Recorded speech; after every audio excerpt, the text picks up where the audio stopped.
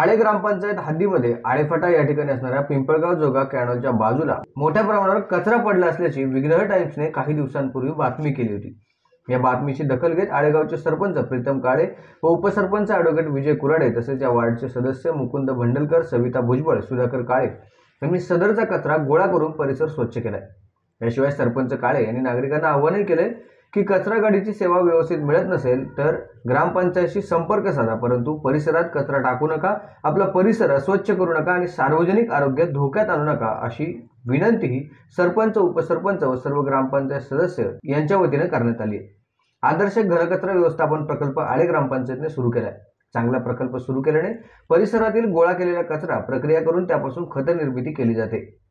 त्यामुळे आपण आपला कचरा कचरा गाडीतच विलगीकरण करून टाका असे आवाहनही सरपंच उपसरपंच यांनी आळेकर ग्रामस्थांना केले. Bureau report Vighnahar Times Ale.